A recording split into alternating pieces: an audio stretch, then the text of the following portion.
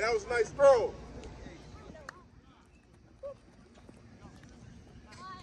Okay, don't.